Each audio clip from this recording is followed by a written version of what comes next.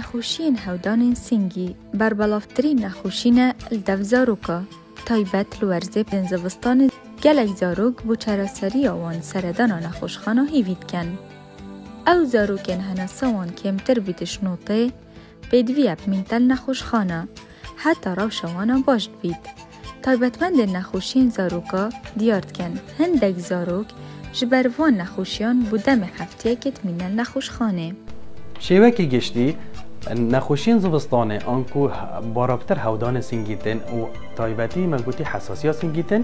ئەف نەخۆشیت حساسیا سنگی گەلک دبشوانا من محتاج چاودرية بن النخوش النخوشخانة بموي 24 ساعة بيجي بترجي بميني تن چنكو هندك شوا. ديف عندك نشان مطرسية لسر هين أو جيكو هكو بناوا طيبت اكسيجن واش نوطة تتخاري ابت هنه بيدوية كوب مينت نخوشخانة به. هندك شواجي هكار مطرسية تربيتن مثلا هر بناوا طيبتن احتمال هاي بتر ميني تنش 24 ساعة بتر احتمال حتى سي حتى 4 حتى اسبوعك اسبوعه دایکوبا بنزارو که نخوش دبیجن سالانه لورزین زوستان زارو کنوان توشی نخوشین هودان سنگید بن. به تایبت کخکو پرسیوا. ده چند روژن بوری دا هندک نیشان دو زارو کنوان دیار بوینه.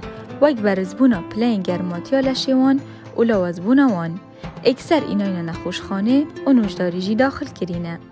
اوش دیوارک جامنیا دیک چوی بو حرارت گلک لی بو او سه چهار روز بو زاد جینت خار و عیلنجی گلک تاتنه شویدی مفردید از بیمه خوشخانه من اینا افروک فحصت بود چکرین امل هفیا بشکنیم میتوه زمان سکری ها نخوشی و سکری ها افراتی یک چه مهینا بیری ده هر سه مهین دوازده و ایک و دودا لساله 2019 5772 زاروکا جبر نخوشین هودان سینگی سردان نخوشخانه هیویا زاروکا کرینه و شست زاروکا به هودان سنگی گیان خوش دست دایه.